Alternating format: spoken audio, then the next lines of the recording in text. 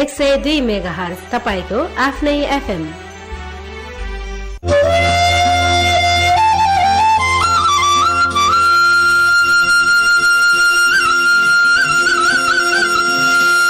सनातन अमर आत्मा परमात्मा रूपले आनन्द मात्रामा सबै सधैँ रहिरहनलाई आत्मज्ञानको दैनिक प्रवचन कार्यक्रम अखण्ड सुख अखण्ड सुख। अद्वैत प्रदीप बलराम जीसी सरस्वतीको साथमा हरेक दिन दिउँसो एक पैतालिस बजेदेखि।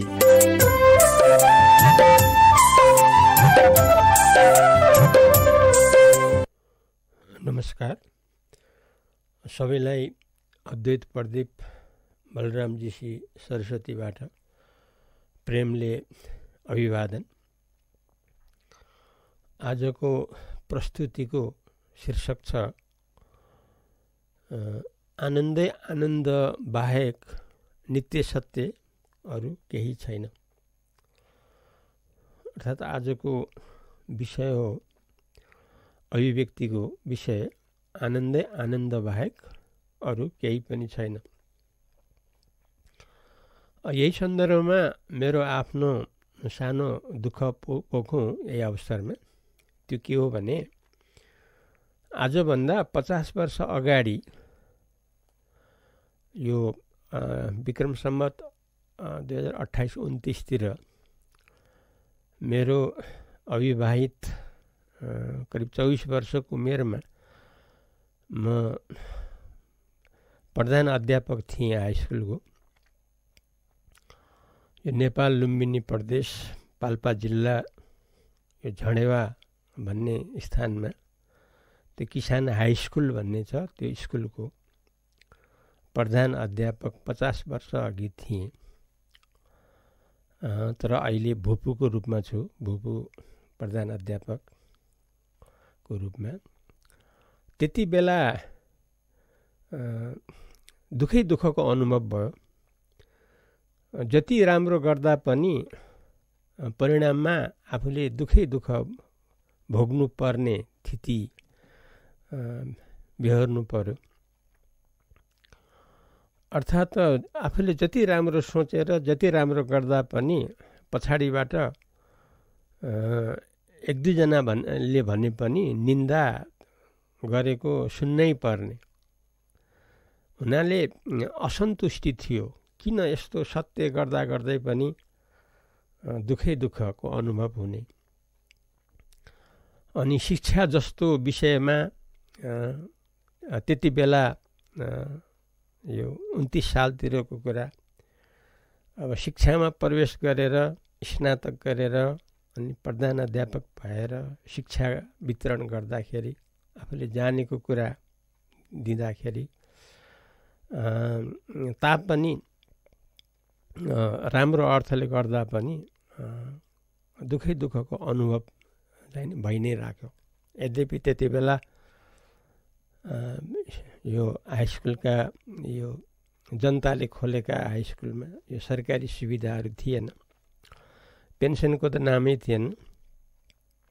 त्यति बेला मेरा साथीहरूले ढाई सय महिनाको तलब पाउनुहुन्थ्यो भने म प्रधान अध्यापकको रूपमा दुई सय पचहत्तर महिनाको पाउँथेँ। त्यो पनि लेखाइमा मात्रै थोरै मात्रै पाइन्थ्यो किनकि फिसहरू कम उठ्थे खर्च बढी थियो आम्दानी कम थियो सहायता बाहिरबाट सुन्ने थियो। तापनि स्कुल चलिरहेको थियो चलाइराखिएको थियो। तर सुखको अनुभव चाहिँ नि भित्रबाट भएन। दुःखै दुःखको अनुभव भइराख्यो। अर्थात् सत्य गर्दा पनि दुःखकै अनुभव भइराख्यो। र त्यसपछि विशेष गरेर धार्मिक क्षेत्रमा प्रवेश गरेर धेरै प्रकाण्ड ज्ञानीहरूसँग सत्सङ्गमा गएपछि अनि भित्रैबाट आफ्नो प्रश्नको उत्तर मिल्यो। आफ्नो मन शान्त भयो र यति बेला अहिले स्टुडियोमा बोल्नुको बेला यो रेडियोमा बोल्नुको बेला मेरो शीर्षक छ आनन्दै आनन्द बाहेक अरू केही पनि नित्य सत्य रूपमा छैन। अर्थात् आनन्दै आनन्द रूपमा हामीले साक्षात् अनुभव गरिएर रहिरहन सक्ने हुन्छौँ।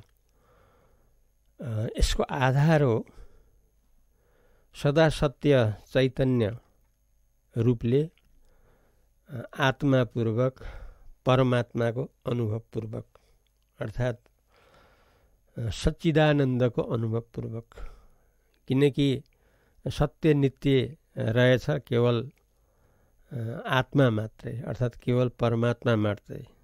अर्थात् केवल चैतन्य सच्चिदानन्द मात्रै। र यो अर्थमा दुःख भन्ने कुरा भेटिँदैन चिन्ता भन्ने कुरा भेटिँदैन डर भन्ने कुरा भेटिँदैन किनकि यहाँ आनन्दै आनन्द छ चिन्ता रहित छ डर रहित छ दुःख रहित छ यस्तो स्थिति सच्चिदानन्द रूपले सबैलाई सम्भव हुने रहेछ भन्ने कुरा आफूलाई विश्वास भइकन। आफूलाई विश्वास भएको कुरा आफूले यति बेला निरन्तर अनुभव गरेको कुरा सबैलाई प्रसादको रूपमा बाँड्न स्वत प्रेरित भएर अगाडि बढ्दै आइरहेको छु। यही क्रममा आजको विषय हो आनन्दै आनन्द बाहेक अरू केही छैन। अब यसका लागि हामीले प्रकाण्ड ज्ञानी को एउटा संस्कृत श्लोकलाई सम्झनै पर्ने हुन्छ। त्यसबाट धेरै फाइदा छ। त्यसमा के छ भने सुख दुःखे जन्म मृत्यु दैवात एव इति निश्चय। साध्यादर्शी अनायास। कुर्वन् अपि न लिप्यते। यो संस्कृतको श्लोक हो। संसारमा प्रसिद्ध अष्टाविक गीतामृतको एघार प्रकरणको चार श्लोकको भाषा हो यो। यसको नेपालीमा अर्थ के छ भने सुख दुःख भन्ने कुरा जन्म मृत्यु भन्ने कुरा यो दैवबाट प्राप्त हुन्छ। अर्थात् प्रारब्धबाट प्राप्त हुन्छ भन्ने कुरामा निश्चय अत्यन्त निश्चय भएपछि साथै जे जति कर्महरू गरिएका हुन्छन्। साधक रूपले साधनद्वारा कर्मको साधनद्वारा साध्य अर्थात् जति पनि कामकाजहरू हामी गर्छौँ त्यसको हामी द्रष्टा हौँ दर्शी हौँ जान्नेवाला हौँ।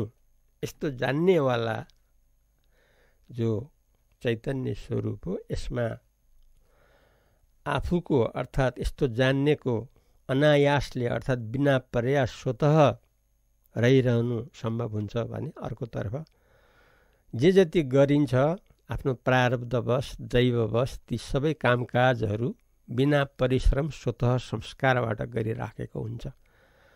यसरी संसारमा चुर्लुम्म डुबेर डुबेर रहे तापनि अर्थात् संसारमा आइपरेका नित्य नैमित्तिक कार्यक्रमहरू जतिसुकै गढेर लिप्त भएर अनुशासित भएर अत्यन्त कर्तव्य कर्म गर्दा गर्दै पनि ती कर्महरूमा कुनै पनि लिपायमान हुँदैन अर्थात् आसक्ति हुँदैन तृष्णा हुँदैन इच्छा हुँदैन किनकि स्वभावत तिनीहरू यथावत आफ्नो पूर्व संस्कार अनुसार लगातार चलिराखेको छ भन्ने यो चाहिँ नेपाली अर्थ हो त्यो श्लोकको अब यसको तात्पर्य के हो भने दैव भन्नाले प्रारब्ध। मनलाई जसले जान्दछ ऊ देवता हो। मनलाई त हामीले नै जान्दछौँ। त्यसो भए हामी देवता भयौँ। त्यसो भए जो प्रारब्ध छ यो आफैले खडा गरे रहेछ आफैले ल्याएको रहेछ यो सारा कुरा। आफ्नै कारणले यो सब सुख दुःख भोग्नु पर्या रहेछ आफ्नै कारणले जन्म मृत्यु भोग्नु परिराखेको रहेछ। जन्म त आफैले ल्याएको रहेछ मृत्यु त आफैले ल्याएको रहेछ। किनकि मूल स्वरूप परमात्मालाई बिर्सिएर मायामा बगेपछि त जीव जगतको सृष्टि भइहाल्छ। भनेपछि जीव जगत त आफ्नै सृष्टि भयो। कसरी?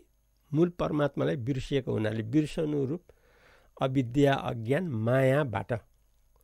भनेपछि जीव जगतबाट जो खडा भएको शरीर छ जो आएको छ त्यो जन्म त आफैले ल्याइया रहेछ जन्मिएको शरीर त मर्छ मर्छ। भनेपछि मृत्यु पनि आफैले ल्याइया रहेछ भनेपछि वर्तमानमा जे जस्तो अनुभव छ या सुख या दुःख त्यो त आफ्नै सृष्टि रहेछ आफै नै ल्याएको रहेछ। यस्तो कुरा जानेपछि जान्नेवाला जो चैतन्य असङ्ग अद्वितीय परब्रह्म परमात्मा हो यसमा आफू बुद्धि गरेपछि दुःखले कसरी छुने दुःख सुखले कसरी छुने जन्म मृत्युले कसरी छुने किनकि जान्नेवालामा जानिने वस्तु त हुँदैन जान्नेवाला त आफू साक्षी परमात्मा हो जानिने वस्तु त शरीर संसार हो जन्म मृत्यु सुख दुःख हो यसरी सदा सुख शान्ति अर्थात् आनन्दै आनन्दमा रहिरह राख्न सकिने बलियो आधार यसरी हामी सबैले भेटाउन सक्ने हुन्छौँ भने जे जति हामी चाहिने एउटा साधकको रूपमा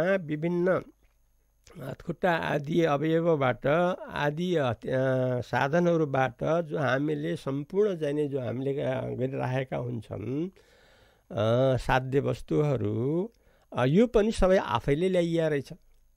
यस्तो हामीले बुझेपछि यसरी गर्नलाई हामीलाई के को परिश्रम पर्यो? अर्थात् स्वभावत संस्कार अनुसार सो स्फूर्तबाट चलि नै रहिरहेको भनेपछि न व्यवहार गर्नलाई आफूले परिश्रम गर्नु पर्यो न आफ्नो सदा सिद्ध स्वत सच्चिदानन्दलाई अनुभव गरिरहनलाई प्रयास गर्नु पर्यो किनकि यो स्वत सिद्ध छ। त्यस कारणले जतिसुकै काम कर्तव्य गरिराखे तापनि ती स्वभावैले चलिराख्ने हुनाले ती कसैमा पनि आसक्ति सम्भव भएन। जसले गर्दाखेरि जन्म मृत्यु दुःख आदिको कारण बन्न जाओस्। किनभने लिपायमान अर्थात् लिप्तता आसक्ति तृष्णा इच्छाले नै यी सब खडा हुने हुनाले र ती सब सम्भावना अब समाप्त भएको हुनाले किनकि एकमात्र यहाँ परमात्मा आत्मा सच्चिदानन्द मात्रै विद्यमान सदा सर्वदा भइराखेको हुनाले जस्तो मडी र मडीको चमक। मडी जस्तो सच्चिदानन्द परब्रह्म परमात्मा भने चमक माने त्यस मडीको चमक जस्तै यो शुद्ध चैतन्य परब्रह्म परमात्माको यो चाहिने चमक आभास अथवा वृत्ति चित्तवृत्ति यस्तो चाहिने निश्चित रूपमा अनुभव भइरहेको कारणले र झलकले मडीलाई कहिल्यै पनि बाधा व्यवधान खडा नगर्ने हुनाले किनकि मडीको चमकले मडीलाई कहिल्यै पनि बाधा दिन सक्दैन। त्यस्तै परब्रह्म परमात्मामा खडा भएको यो झलक रूप शरीर संसारले मूल वस्तु जो मडी रूप परमात्मा परब्रह्म आफूलाई कहिल्यै पनि यसलाई बाधा दिन सक्ने हुँदैन। र अर्कोतर्फ यो परब्रह्म परमात्मा भनेको आनन्दै आनन्द हो। आनन्ददेखि यहाँ अर्को सिवाय केही पनि छैन। हामी जतिसुकै हामी चाहिँ अनुसन्धान गरौँ आफ्नो स्वरूपको बारेमा आत्मा परमात्मा परब्रह्म भगवान् सम्पूर्णको विषयमा। आखिरी बाँकी रहन्छ केवल एक परमात्मा। परमात्मा पनि आखिरीमा बाँकी रहन्छ आनन्दै आनन्द मात्र। यसरी यथार्थमा निष्कर्षमा आनन्दै आनन्ददेखि अरू कुनै कहीँ नित्य सत्य कहिले पनि सम्भव छँदै छैन। त्यसैले सदाकालीन हो आनन्दै आनन्द। यसरी सबैको स्थिति वास्तवमा आनन्दै आनन्द हो।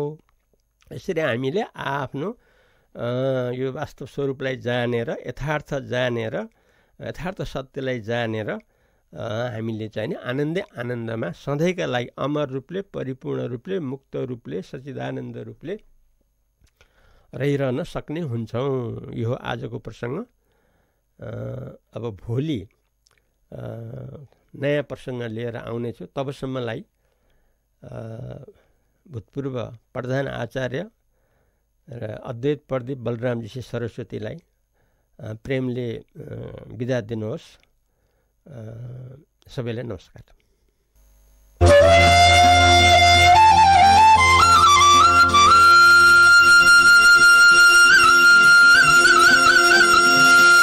सनातन अमर आत्मा परमात्मा रूपले आनन्द मात्रामा सबै सधैँ रहिरहनलाई आत्मज्ञानको दैनिक प्रवचन कार्यक्रम अखण्ड सुख। अखण्ड सुख। अद्वैत प्रदीप बलराम जीसी सरस्वतीको साथमा हरेक दिन दिउँसो एक पैतालिस बजेदेखि।